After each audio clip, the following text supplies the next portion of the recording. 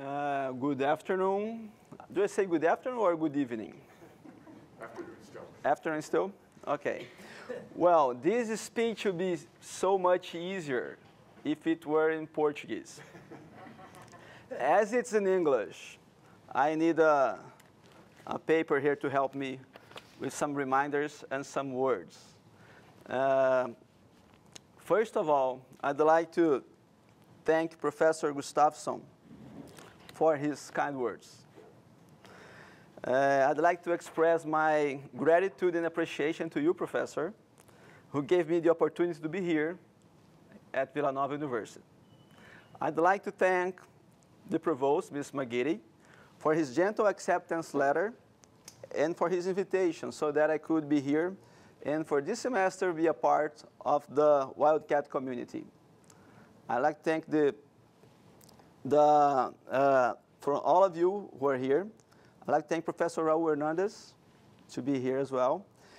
And I hope if I am competent, so you could learn something about Brazil, which is a very interesting, as Professor said, and enigmatic country. Continental-sized countries are often enigmatic countries. Even here in the United States, which is a very open country, very transparent, you guys have a huge soft power. It's hard to know what people in the Northeast, the Midwest, the Rocky Mountains people, or the West Coast are thinking. Enigmatic countries are big countries. Uh, one other characteristic of Brazil is that it is far.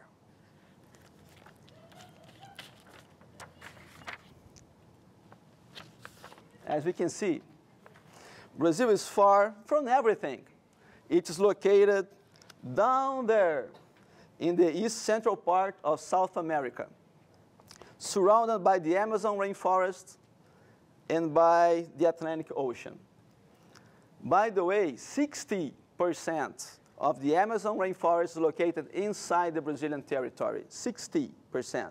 The others 40% is divided by eight other countries.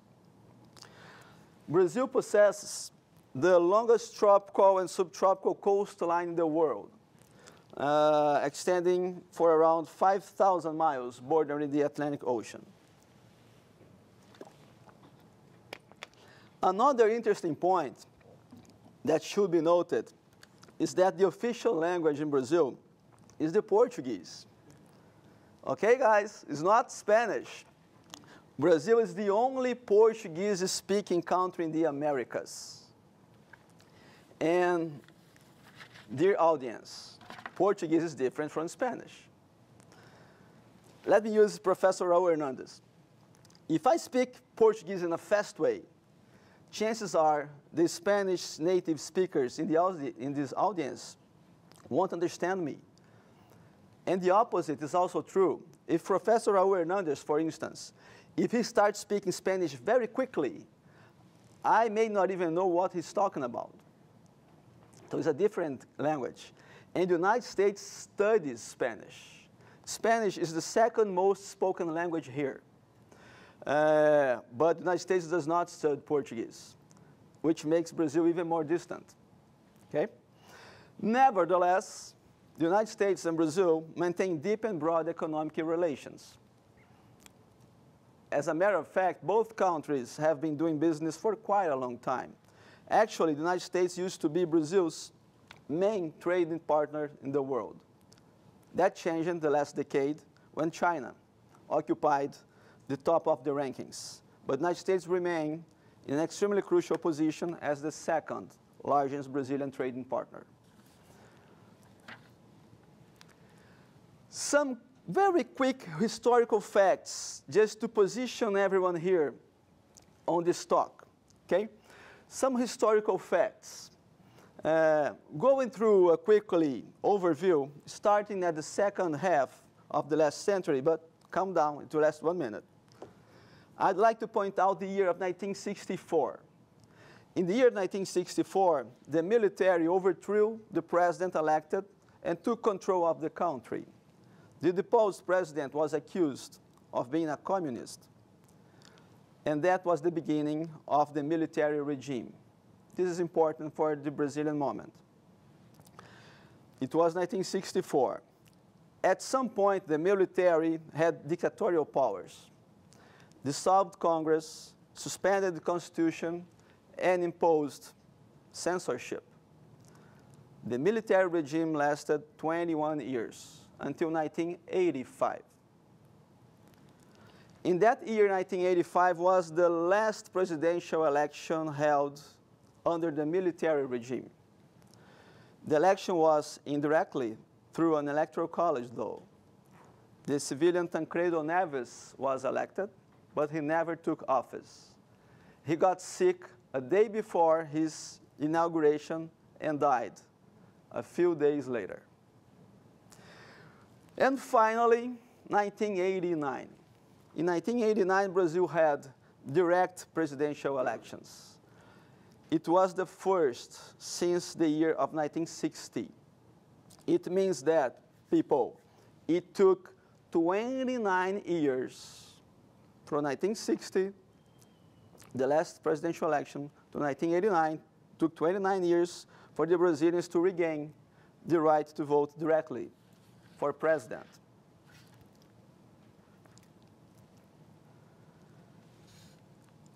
Brazil has a mega election on the horizon.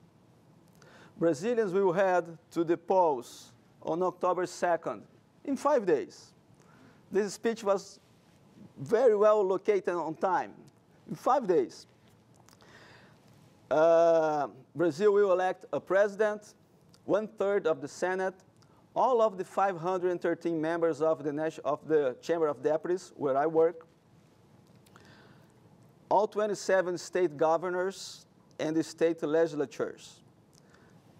Just like here in the United States, Brazil is a federal republic governed under a presidential system. The president and vice president of Brazil are elected together as a joint ticket by popular vote for a four-year term, and they are eligible for re-election to a second term. Uh, in Brazil, for president, there is a two-round voting system, and this is important for what we were talking about later on. Two-round voting system. The first round of elections is held on the first Sunday of October, which is in five days.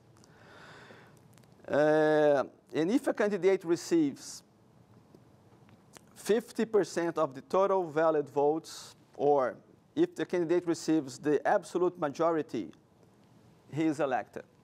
If it doesn't happen, which is very common, as we can see, since Brazil, as Professor Lau told us, we have 32 political parties. If no candidate receives more than 50%, 50% of the vote, runoffs take place on the last Sunday of October.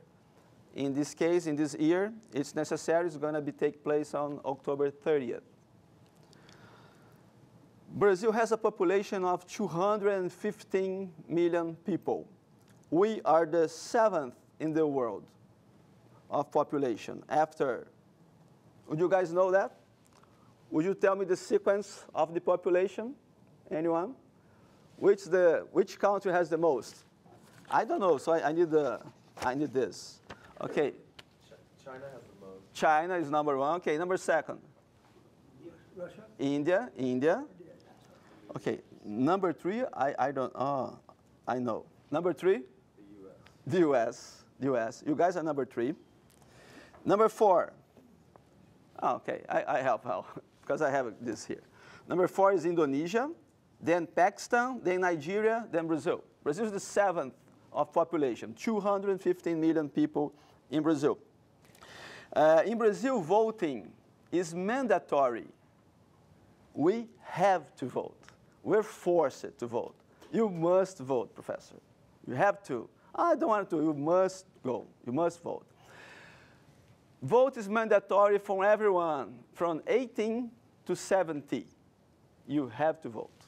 Oh, I don't want, I, I, I, I hate politicians. Okay, go and vote blank, vote new, but you go. You go. Okay? You go. Uh, vote is mandatory from 18 to 70. People between 16 and 18, vote is optional.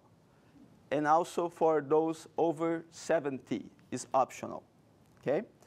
Uh, as I joke here, what if I don't vote? What will happen to me? Okay, if you don't vote, you must justify the reason you didn't vote. You justify on the electoral court website. You have to present documents to prove your justification, and you have to pay a fine. It's easier to go and vote. to go and vote. Okay? Well, uh, in the, even though, even with all those penalties, all this work you have to justify just as a, a number uh, to make it, this more clear, in 2018, which was the closest election we have, in 2018, 20% of the Brazilians didn't show up to vote. 20% equals 30 million voters. 30 million citizens did not show up to vote. And this is important in this election as I will return to this point in some 10 minutes, okay? Both candidates, they are ranking top in, this, in the polls in Brazilian elections for president, both are trying to convince people to go, uh, to go on Sunday, October 2nd, to go to vote. Even uh, their, uh, their base, I'm going to talk about this soon. Let's continue. Okay, first of all, since the redemocratization, uh, redemocrat, I didn't, found, I didn't find this word in English, redemocratization. But even though I brought it here, I mean, redemocratization is the become democrat again. Okay, since the redemocratization, Brazil had eight direct presidential elections. This next, this coming Sunday is going to be our ninth presidential elections. I brought all the final results on this colorful slide so that we compare situations and point out some specific characteristics that I'd like to bring to you guys. Just an observation here, since my wife is over there recording me. My wife commented that this slide was horrible. Gustavo, this slide was too colorful, too colorful bring something more sober to the university. Guys, I agree with her, always agree, I agree. But even though I brought colorful, sorry, surprise. because it makes it easier to check the each election. It's, I can say, look at uh, 2002, for instance. The, what color is that? Uh, I, I should have put colors that I know the word, right? yeah, what color is 2002? Purple. Purple, okay, light purple probably, okay. All right. Uh, jokings apart, we have here the eight Brazilian elections in the democratic period. And this is interesting because we can take some explanations, some cases, some patterns from the results. And I'm going to bring here for you guys. Okay, first, I, I, it will not take long in each one, okay? Don't, don't, get, don't, don't, don't get crazy. I saw some guys like, oh my, no. One minute each one. Okay, first election. 1989, color, uh, color green. Oh, okay, it's easy because it's first. First one we had Fernando Collor against Lula da Silva. In 1981 was the first election after the military regime. After 29 years it was the first election. We had, Brazil had a lot of people willing to participate, a lot of people wanting to be Brazilian president, Brazilian, uh, Brazilian president. So I put below 1989, that, those 22 is 22 candidates. They had 22 candidates in the election. It's a lot of people. Uh, as we can see in the first round, let's go to first round now. First round, Fernando had 20.6 million, what is 30%, and Lula da Silva had 11.6, what is 17%. None of those had 50%. They didn't got the majority of the votes. So what happened? A second round. So a second round happened in the last Sunday of October between the two that has most votes, between Fernando and between Lula. And now we have a result. We had that Fernando had 53% and Lula had 47%. Going down to next Sunday's election, I can see Lula here again, again. Interesting to mention that if we take a look at all the nine elections that are on the screen, there is a member of the PT. PT is the party, is one of the 32 Brazilian parties. PT stands for Partido dos Trabalhadores, PT. In English, Labor, Party of the Laborers, Labor Party, okay? In all of the nine, uh, let, me, let me bring this better. In all of the eight, because we, did, we didn't have this election so far, I, I, I cannot, I know a lot, but I don't, I don't bring, I didn't bring my um, bola de cristal, how can I say, crystal ball? crystal ball, yeah, okay, crystal ball. Uh, but we'll talk about those, those two guys here soon. Oh, oh, oh my. That was bad, right? I, I, I, really tried to cover. Never mind. okay. Uh, in all of the eight elections, we had something from the PT, someone from the PT. Fernando Da, Labour Party, Dilma Rousseff, Labour Party, Rousseff, Labour Party, Lula, Labour Party, Labour Party, Labour Party, Labour Party. The Labour Party is a leftist party in Brazil, a big one, as we can see, an important one, so important that it is in all elections so far, okay? Uh, we will see in five minutes that according to the recent polls, polls, polls, polls, uh, those two, Jair Bolsonaro, the current Brazilian president, and Lula da Silva, the ex-Brazilian, former Brazilian president, they are leading the polls. So it's 100% sure that those two guys will be the most votes. We don't know yet if it's going to end up in the first round or if it's going to be necessary the second round because a lot of things going on in Brazil.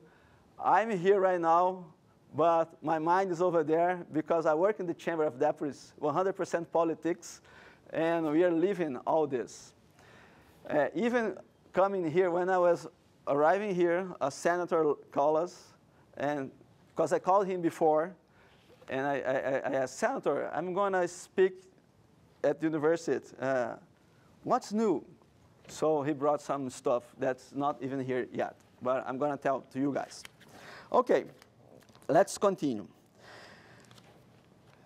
In 1989 election, there were 22 candidates. A lot of people, Professor Lau Gustafson told you guys that we had 32 political parties. Yes, Brazil really has a true political party system. Uh, as we search the number of political parties in Brazil on the electoral court website, we found those 32. I took this yesterday. This is brand new. There isn't a 33, it's 32. And why I say this? Because despite these 32 political parties, there are another 24 in the oven. 24 to be created, to be uh, waiting for the electoral court to approval their creation. 24 besides those 32. That's a lot of people. That's a lot of, that's a, that's a lot of political parties. That has really with this. Uh, and uh, it's also interesting, you may think, oh, come on. They might have two, three, or four big parties, the rest is small ones. No. A proof, like, a proof of that is that uh, in the Chamber of Deputies, uh, there is represented by 23 political parties, different political parties. In other words, we have deputies, we have congressmen from 23 different political parties representing the Chamber of Deputies. So they have, they have uh, representation over there. They're, they're not that, that small because they have representation in the chamber. Well,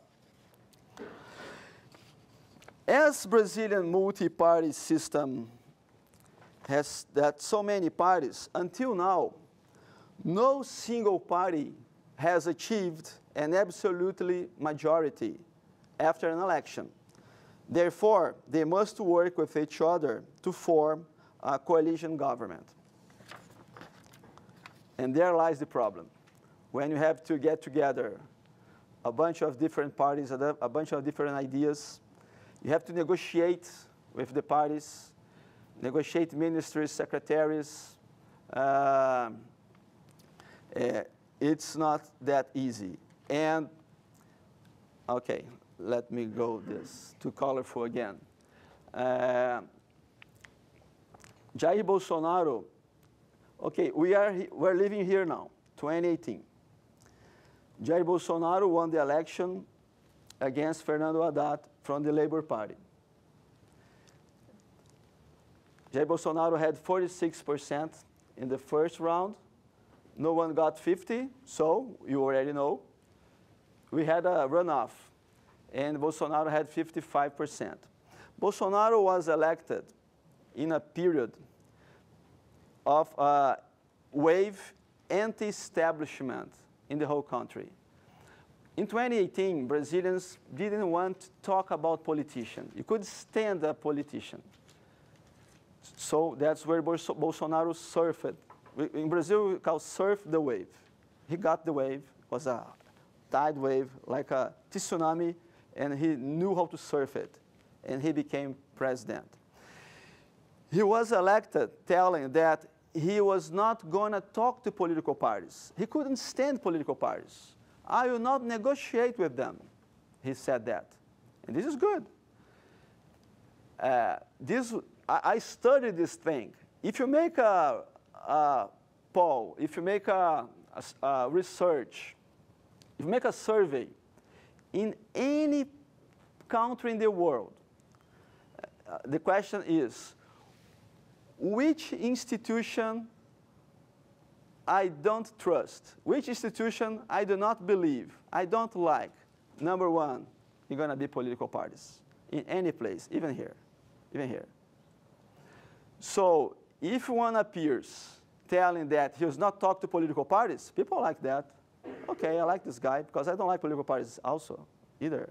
I like the guy. And he was elected with an anti-establishment talk, which was important in Brazil. And I'm going to tell you why. Because we had huge case of corruption happening. And Brazilians couldn't stand anymore. All those politicians doing bribers, bribes, whatever. And that's where Bolsonaro surfed the wave. But let's continue slowly. As my kids say, despacito. This, is it correct, Professor? Despacito? Thanks.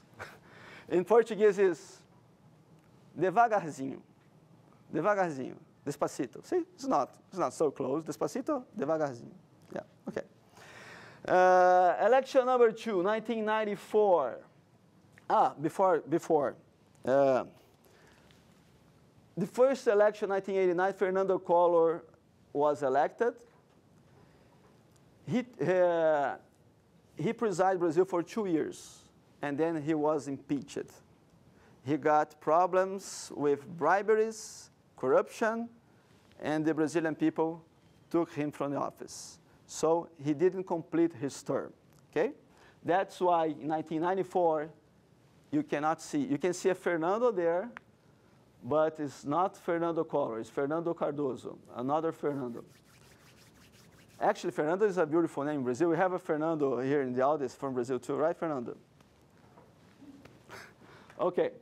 Uh, in the second Brazilian election, Fernando Cardoso won president, oh, sorry, it's, it's not, one, the candidate Lula. And as we can see, only one round was necessary, see? Look, Fernando Cardoso had 54%, more than majority, he was elected, game over. Then come the third. As I, as I mentioned before, in Brazil, uh, we accept one re-election. The president, Fernando Henrique Cardoso, was tried the re-election, and he, was, uh, he won the election. He won from Lula again. Oh, Lula is in all of them. Yeah, he won from Lula, and that was the third election in Brazil from the Democrat, Democrat uh, times. Election number four, 2002, we had six candidates. Lula da Silva from the Labour Party, always Labour Party is present, won the election from José Serra. Two rounds were necessary, 46 against 23, and Lula achieved in the runoff 61%.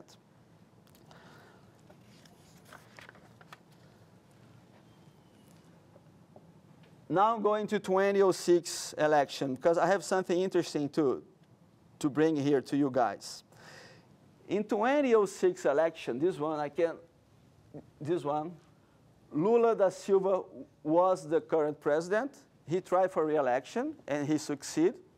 So far, okay. The new thing is he won from Geraldo Alckmin. They were like ad adversaries. Can I say adversary? Uh, on the other sides. Uh, I don't like to say enemies. They are not enemies. Enemies is too much for politics. You're not enemy, but you are adversary, okay? Adversary. Ad huh? Adversary. Adversary. Okay, sometimes it's so hard, those stress. You did good. Yes, thanks. You did well. Really? You guys are so polite. okay, uh, adversary. Adver say again. Adversary. Adversary. The stress is a se. Adversary. Yeah, it's not easy. Try to learn Portuguese, guys. Try to learn Portuguese, right? okay. Uh, Lula and Geraldo Alckmin were advers adversaries. Adversaries. Okay, it's okay. You got it. Let's let's say ad. They were ad. and by then, not now. 16 years later, it, it was 2006. 16 years later, they are here together. Lula is candidate of, for president, and Geraldo is his vice candidate, his vice. They united against Bolsonaro. In this year election, we have two huge heavyweights. Lula is a heavyweight. Bolsonaro is another heavyweight. So Lula convinced Geraldo Alckmin to be his vice candidate, and they're together to try to beat Bolsonaro. Okay? Another interesting thing in the 2006 election is that between the first round and the second round, everything is possible. Everything is possible between the first and second. Even have less votes in the second than you have in the first. Look, Geraldo Alckmin. Geraldo Alckmin had 40 million first round, and he went down to 37.5 in the second. What does it mean? It means that two and a half million people regretted for voting for him in the first, and in space of four weeks, changed their mind and not vote him again. Okay? Everything is possible. All right. Let's go on. Uh, election 2010. Now we have another name from the Labour Party against José Serra. Lula in Brazil, guys. Uh, it's difficult to say, but it's. Uh, I don't know the word even in Portuguese. The guy is huge. The guy is respect. The guy was involved with problems. The guy was in prison. He was convicted for nine years, 12 years. He went to jail and he was there for two years. And then what happened in Brazil is that people probably became afraid of Bolsonaro and said, guys, let's get all we can get, let's combine energy and strength, otherwise you cannot beat Bolsonaro. And so the Supreme Court freed Lula. Freed, oh, now you're innocent. Yeah, no, it's not like this. They just said, oh, no, a technical problem. You're not supposed to be judged in Philadelphia. You're supposed to be judged in Pittsburgh. So get out of jail. So he got out of jail. Uh, so he's free now. And he's the candidate who is leading the polls. Okay? Uh, when Lula left, the left his office in 2010, in 2010, he, was all, he had almost 90% of approval. 90 of approval, it's a lot. He made his successor. He nominated, he, he nominated, nominated, he indicate, nominate Dilma Rousseff, who, uh, Dilma is a woman, and she's not a politician at all. She's tough, she's rude, she doesn't have any political skills, even though she was elected and later re-elected. See the power of Lula. See the power of Lula. Okay? Uh, and Dilma was elected in 2010 and re-elected in 2014. This 2014 election was very difficult for Dilma and her Labour Party. What happened here? in the year of 2013, just before the election, in 2013, Brazilians went to the streets. Millions. I mean millions, not thousands, millions, millions. Uh, complaining against corruptions and bribes and all this kind of stuff. The Labour Party got scared. It was the first time Brazil had a huge manifestation a, huge lot of people on the streets in a movement that was not carried out by the Labour Party. They're not in control of that.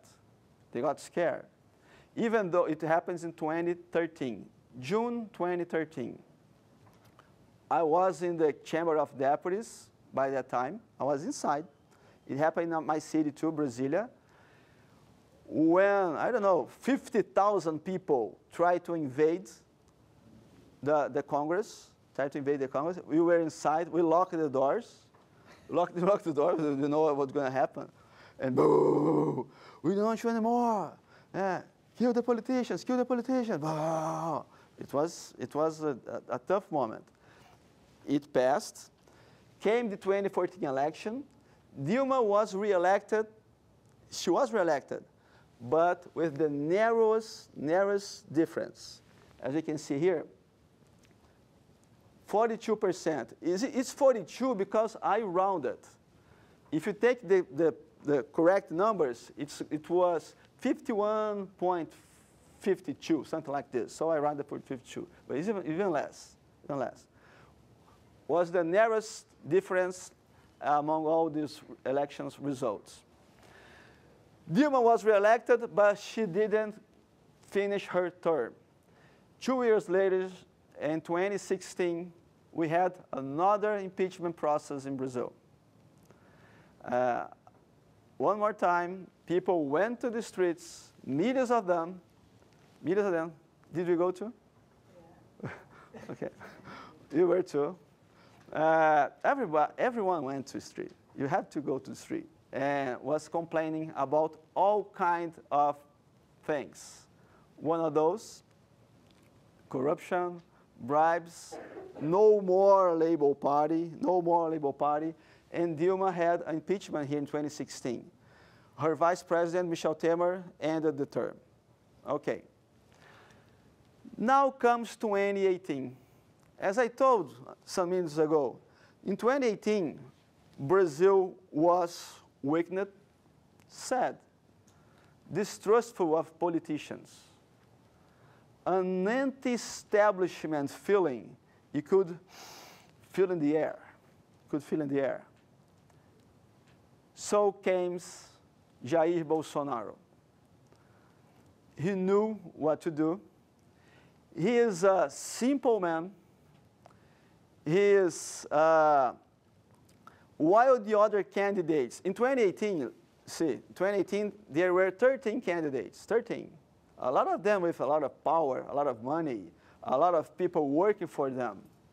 Not Jair Bolsonaro, simple man. No, I don't want anything with me. I do myself my recordings. I'm Bolsonaro, I'm here, uh, shaking. Uh, here. Or when he was going to speak, he's going to re record himself on the back, always the Brazilian flag. But Brazilian flag was not perfect like this, was like, like this on purpose. That guy is simple. That I know, I understand what that guy says. I like the guy. I like the guy. Okay, he do he makes. Uh, Luis, how can I say palavrão? How can I say palavrão? Swear word? Swear word? Swear? Swear? Swear word? Something bad? Bad? Yeah, Okay. You were swear word? yeah. Okay. he does a lot of this. Some may, some may think, oh, but some, this guy is a person like I am. I like this guy. He's real. He's real. Bolsonaro. And he surfed the wave. He was elected Brazilian president. I know him. I work in the Congress. He, he, he, was, a, he was a member of Congress for two, He dominates social media. social media. Yes, yes. And he still does. No one does social media like him. He's great. He's amazing. He, he, he, he's a god. But he's facing another god here this year. This Sunday's election will be awesome, guys.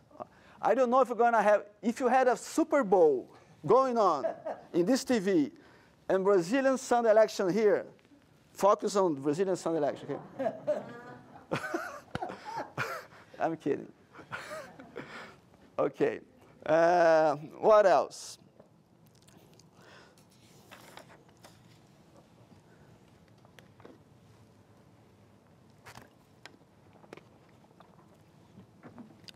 In 2018, let me, let me go back a little bit here because there's something important that I missed. In 2018 election,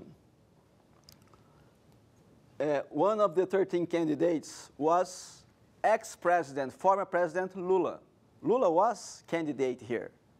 He was candidate. And by the, just a second. Guys, stop fighting. It's my kids, okay? Yeah. Okay, stop fighting, okay. Jordana, take care of your brothers. Okay. Uh, in 2018 election, President, ex former President Lula wa was candidate. You'd like to be candidate. On the polls, he appeared leading the polls, like 40% in, in, in the month of April. The month of April, Lula had 38%, 38, while the second place Bolsonaro had 16, 38, 16. It was in April. But then Lula was arrested. Lula was arrested in April 7th. Well, April 7th. the Labour Party took too long to nominate another name. Only by the eve of the elections, in the end of September, the Labour Party appeared with Fernando Haddad. Fernando Haddad, yeah. And this guy even had 29% of the votes. But Bolsonaro beat him on the second round. Okay? Bom, well, Lula was arrested for one year and seven months. Uh, he went out from prison uh, two years ago. Now he is allowed to be candidate. Okay. Uh, one important thing, uh, things are happening in Brazil all the time. There's something new that happened today. Today. Today, the ex, the former Supreme Court minister who was responsible for Lula's arresting, Joaquim Barbosa, today, this same guy uh, recorded a video telling that he, is, uh, he approves Lula campaign. He's going to vote for Lula, asking support for Lula. The guy who arrested him. Yeah. Bolsonaro has, uh, he's doing a miracle that is combining all adversaries. Adversary. I give up. You're Uh. Good enough. yeah, okay, yeah. Is there a synonym? Opponent. Oppo- oh. See? Bolsonaro, uh, he's doing a miracle. He's getting together all their opponent. Opponent? Opponent, yes, against him. Even this Joaquim Barbosa, it will happen today, and it, it's big. This, it's big. Uh, some wanted this guy, Joaquim Barbosa, to be the candidate, and they will support him, but he didn't. No, I'm not a politician. I don't want to deal with politicians. But he's respected in Brazil, and this support is big. Well, uh,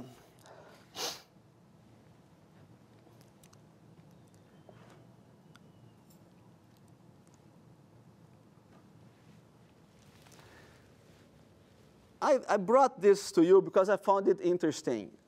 I didn't even notice this until preparing this speech for you this afternoon. But let's call these two patterns. In one of those patterns might break, might finish the sequence, which, which is, so far in Brazil, so far, all candidates who finish the first round in first place were elected in the second round.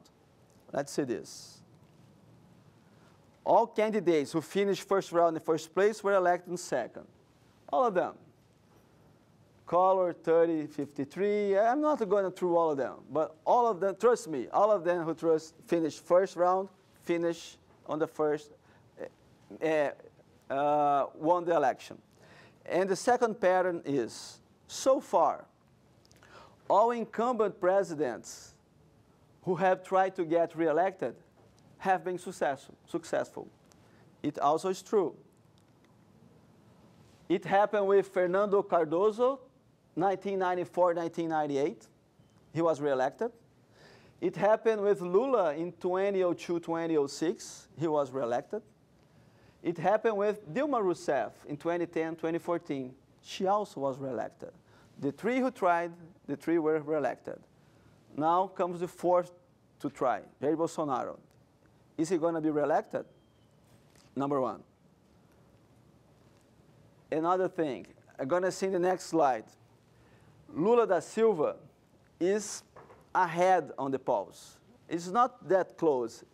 They are, uh, it's not a narrow difference. They're straight, they are um, lar larging, Yeah. Larging the, the difference, okay, in this, in this last days. And I'm going to say why. Well, this is the average voting intention.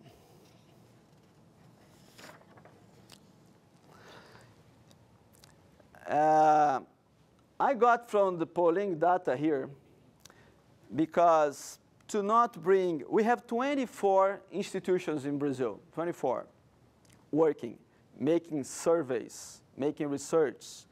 So this one, they combine all of them. So it's an average, it's good. In case one is to that side or to that side, they make an average, all, all of them. So uh, it's a number we can trust, okay? Uh, today, September 27th, what is the feeling of the Brazilians now? Former President Lula in red is with 43. We have a margin of two down, two up, well, but average 43. Bolsonaro is like increasing slowly, 33, 35, 36, but may not have time enough to get to Lula. Remembering, the, remembering you that these are only polls results, but it's a good, a good one because an average. We have 12 candidates. Is it 12? Yes, 12 candidates in 2022 elections. But I brought, besides Lula and Bolsonaro, I brought two others here, which is this purple here is called Ciro Gomes with 7% and Simone Tebet with 5%. This is important. Why? What is the movement in Brazil now? During all this speech this afternoon, I told that Bolsonaro joined his opponents his opponents. And this is happening, the supports are happening every second now in Brazil, every second now. The pressure against Ciro voters and Simone Tebet voters are enormous. Pressure of what? Pressure of them to not vote for Ciro and to not vote for Simone and vote for Lula to finish this up in the first round. Something interesting happened last week. Uh, there is a Harvard professor called Levitsky. Levitsky. He, he wrote, How Democracies Die. Uh, it's a New York Times bestseller, written in 25 languages, even in Portuguese. I brought this, this book with me. Uh, why I'm telling about this guy? He went to Brazil. I didn't know he was a Brazilian. He's interested in Brazil. Uh, and he participated in a television show, television interview about the Brazilian elections. And he told something interesting that I think the Brazilians are taking it seriously. He said, I am an American, but if I were you Brazilians, he said on TV, if I were you Brazilians, I would finish this in first round. You gotta do finish in first round. Why? Because otherwise you may, it may happen what happened in the United States, where the difference between Trump and Biden was close, and if a close, a narrow result, might become easier to contest, to complain. So, Brazilians, if I were you, the professor, the Harvard professor said in Brazilian TV, if I were you, I would finish this now. First round is over, game over, fast. And it's easier to do it in the first round. Why? First round is difficult to complain about the results. Why is difficult to complain? Because as I told here, 15 minutes ago, on October 2nd, you're gonna be gonna, Brazil will elect the president, and besides the president, one third of the Senate, all the 513 members of Congress, all 27 governors, and all state legislatures. There's a lot of people being voted. So it's difficult to, con to contest because, oh, I was elected. I am not going to complain, I was elected. But it will not happen the second round, which is only exclusively, exclusive between those two. So it's make easier. Professor Levitsky said that, and this movement is happening in Brazil. We call in Brazil voto útil, voto útil. I didn't find a word for voto útil in English. I am, I'm going to call it this uh, st- strategic tactic vote, which is, uh, let's say, what's your name? Isabella. Isabella. Ah, nice name. And I, I, I can pronounce Isabella. Let's suppose Isabella like Simone Tebet. Okay, you're gonna vote for her. Okay, just say okay. I'm gonna vote for her. Okay. What what you most like about her? okay. Okay. Isabella gonna vote for Simone Tebet. All right. But then she sees this. And she was thinking, okay, I'm to say, but she's only thinking, you know what? I like Simone Tebet, but I know she will not gonna win. You know why? You know what? I'm gonna vote for Lula or for Bolsonaro. I'm gonna vote for another one. So that's not the one I prefer. It's not. But it's called a strategic, a tactical vote. Okay? So Isabella, so this movement, uh, there is another poll that's, uh, that was uh, that was on today. It's not in this in this because it's today that shows this movement here already. Shows Ciro Gomes going down, Simone Tebet going down, and Lula going up. Lula going up with 46%. So the movement probably they are leaving them, just like Isabella, and going to the first one to try to get it over on the first round. It's not easy. We are only talking about uh, surveys. Surveys. We may all be surprised, but it's a lot of surveying going on. Okay, so uh, it's difficult. Uh, one may miss, the other also, but not all of them they have a lot at stake, okay? Well, we're almost about done. Uh, okay, I have something interesting here. I brought two campaign materials for you. Uh, in Brazil, we have uh, WhatsApp. You guys use WhatsApp? Yeah, I know and I don't know why. The, the, world, the world use WhatsApp. Professor, you use WhatsApp, right? Yes. Uh, my American friends here, I mean, 100% American in the middle of the country who doesn't have any relation with the foreigners. When I ask them, they say, What's what, Gustavo? Never heard. Never heard. But it's strong in Brazil. It's strong. WhatsApp. Everything is WhatsApp. I was joking with Professor Lau I don't check emails. I check WhatsApp all the time, all the time. Okay. Or WhatsApp groups are crazy, like crazy. You, you, you, don't, you can't imagine, can't imagine, crazy. So I, we receive things from one side and things from the other side. As a researcher, I'm in all groups. And I, I don't speak a lot, like the silent spiral, let the guys speak, but I'm there learning and catching, learning and catching. Okay, let's say about this here. This material was prepared by Lula's team. Lula's team. What does it say? It's about the strategic vote.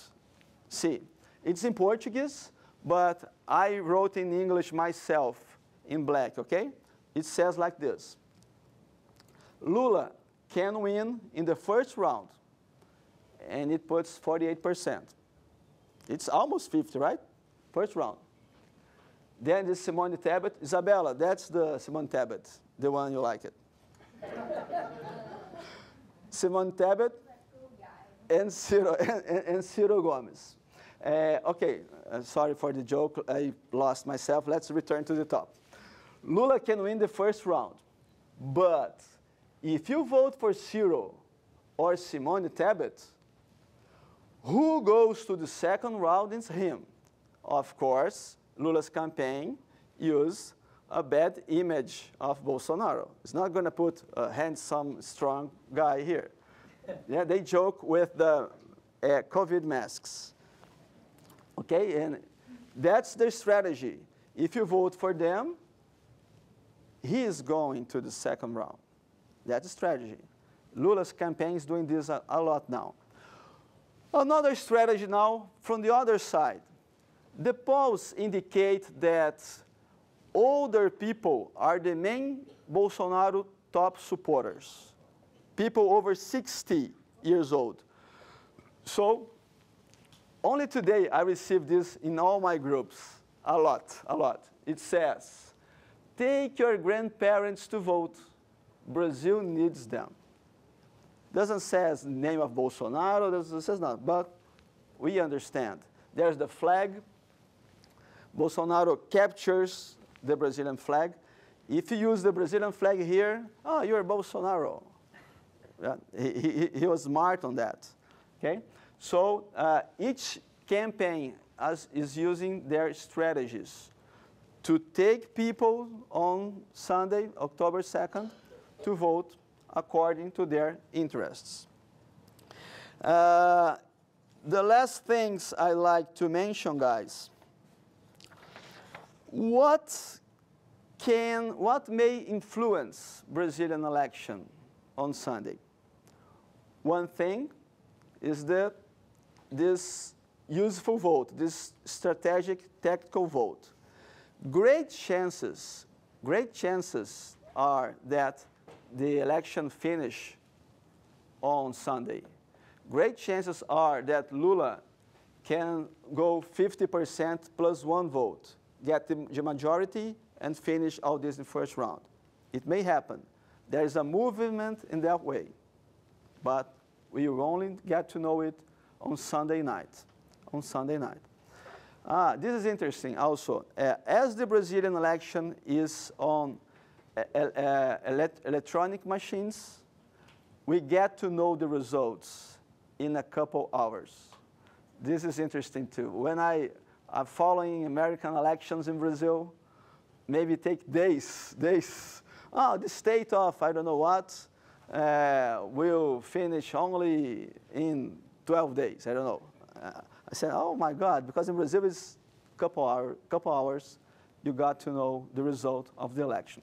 Okay? Uh, so what can influence Sunday's election?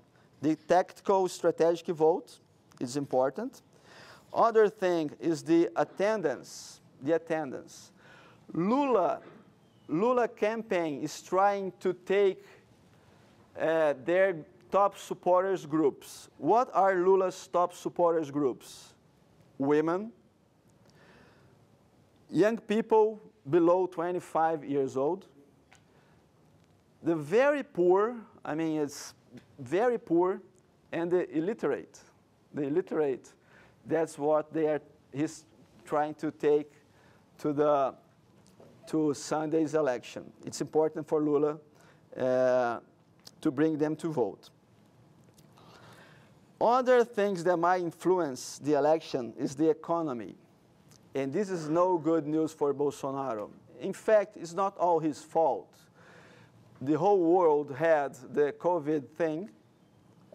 And uh, just like a lot of places, our economy is not doing so well.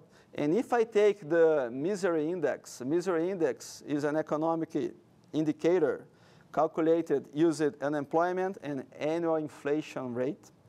And the misery index in Brazil now is higher than in any other election period. So this is bad news for Bolsonaro. Uh, other thing that might uh, interest in the two, two more people. Uh, the other thing that may influence the election is the disapproval approval ratings. Okay? And all the polls are putting Bolsonaro with a 51 disapproval rate. Disapproval rate of 51 against 37, 38 of former President Lula. Or Bolsonaro has more disapproval than the other. And it's decisive in a second round election or for this, uh, this strategic tactical vote. And finally, Brazil has a huge television network called Globo. Global network. It's not, I'm talking about the second largest world network television. It's huge. Globo TV reaches 200 million people.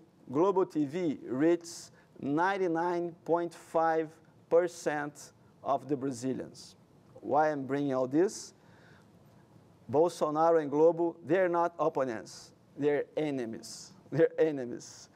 And they, it, Globo is going to carry a debate on Thursday night. It's going to be, this is going to be great. This Thursday night debate at Globo. Cannot miss, Fernando. Cannot miss. I already bought the popcorn. yeah, popcorn. Uh, in a debate is important because in a debate, uh, uh, you reinforce positions, you have direct confrontation, and, and you try to convince people to go and vote for you. Well, I think that was all I had to bring here.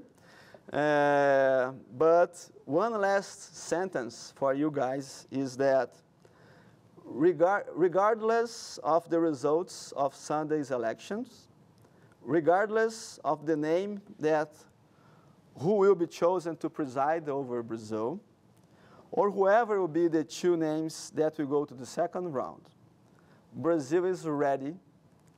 Brazil está listo. Brazil está pronto, as in Portuguese. Although it has only 33 years of uninterrupted uh, democracy, uninterrupted, democra- uninterrupted corruption, uninterrupted democracy, Brazil has built strong institutions that have done very well through recent severe political economical crisis and for two impeachment proceedings. We have good institutions that will that will support, that will mm, that yeah, have support, strong institutions that will take whatever have to take. And thank you for your attention, for your time, and for your patience. And I hope you had fun there as I had fun here. Thanks.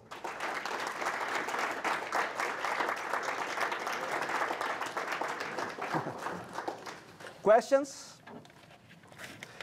Uh, qu- I didn't mention that, but the questions will have to be asked exclusive in Portuguese. Just kidding. Okay. Um, what did Lula get arrested for? Uh, accepting bribes, big bribes.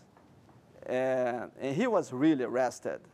His case went through a lot of courts, and all judges, all judges uh, said they, he, he is guilty. He's really guilty. But, uh, well, their opponents get together against Bolsonaro. That's what happens. So Brazilians, uh, I know some Brazilians that will vote for Lula. They're not going to vote for Lula with proud. Ah, I'm proud. No, not proud. It's only the disapproval rate. I don't like Lula, but I like the other less, less. That's what's going to happen. Did I, did I hear you right that the Labor Party is leftist? Leftist. Okay, so Bolsonaro is the, the conservative part of the political? Good spectrum? question. Good question. I forgot to tell this. Sorry and thanks for let me give me time to say this. Bolsonaro is considered far right, very far right. Uh, have you heard of Donald Trump? yeah, they're like twins. I have twins. I understand about twins. Yeah, yeah. I, yeah. Now, in that same, underneath that, you have thirty-two parties, you said.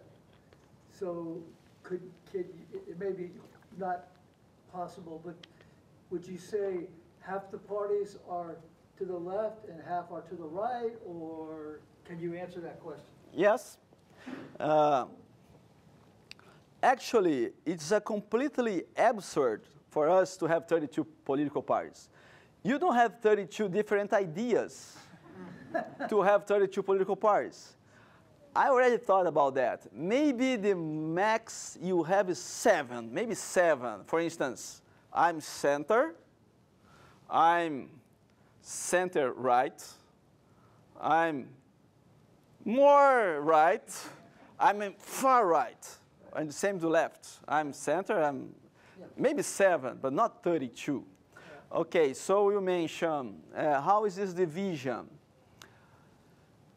My opinion is that the far right is 25% of the Brazilians now, five, uh, far right.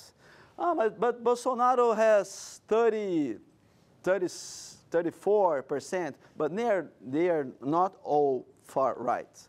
But you have a far right, a far right 25. You have left one third, 33%, and the others are very in between, in the middle. And it happens with the political parties. The political parties in Brazil, if they are not far right or not left, they tend to go where the power is. Right. Yeah, where the money is, where the, Sure. the employees and, uh, yeah, Okay. yeah. You?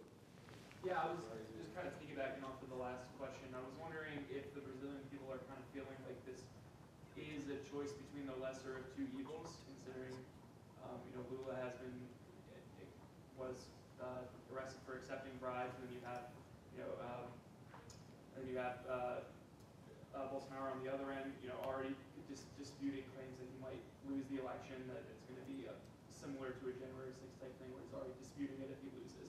I'm wondering how the, people feel that this is a choice between two. Yes, what you say, it's true. Uh, uh, as I told here, uh, I have a lot of friends that are not, they don't, uh, they are, they are not proud of going either one. I have friends going for Bolsonaro too. He said, Gustavo, I don't like that guy. I don't like that guy. I don't agree with nothing he says. I know he's like, uh, he's rude, but he's not a thief. Uh, the other guy was in prison, in jail, right now, in jail. I cannot, I, I, don't, I don't agree to wake up on a Sunday and go to the ballots to vote for him. I don't do that. So it's different. It's not, that's why it's, it's interesting, this election. It's gonna be exactly which one do you less this. I, I, don't, I don't even know, my, my brain got twisted. I- I don't even know how to say Portuguese, especially in English. Is the election of the least rejection. We would say lesser of two evils. Yeah, yeah, Yeah. just like this. Professor. Gustavo, I have a quick question. Some Latin American countries, like Mexico, where I come from, there is this kind of uh, interesting debate in the political sphere, political scientists calling a fascist government of Jair Bolsonaro. And, and obviously, the way that we have been seeing the results in Italy, kind of very alarming, and also thinking about the policies of Jair Bolsonaro, the way he handled the pandemic. Uh, Yes?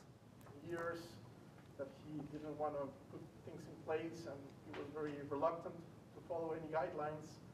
The policies that he had regarding women's rights that are completely awful, the relationship with the army.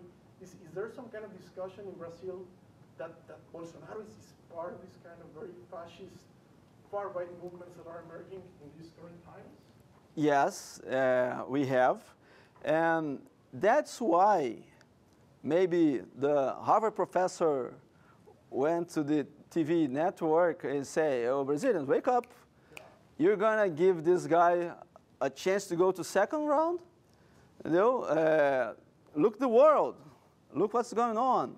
Uh, I don't even, I, it's difficult to think because uh, what I'm going to say here is interesting. I was part of his government. as Professor said, during the COVID thing, I was chief of staff of the health minister. Mandetta, Teich, Pazuello, the three ministers. I, I, I participate in everything. Uh, I saw a lot. Uh, what you just mentioned, Professor, you're right. Uh, it's, it's, he's a difficult person. Uh, he's difficult. Some say he's, he's uh, one you cannot advise, uh, unadvisable person. For instance, uncontrolled, uncontrolled, something like this. And he is far right. As we, we told before, uh, he was kicked off. He, he's a captain from army. And he was took out from army because he was going to explode a bomb. Did you understand that? he was going to explode, explode a bomb in the general's bathroom. Uh, general bathroom. So he is difficult.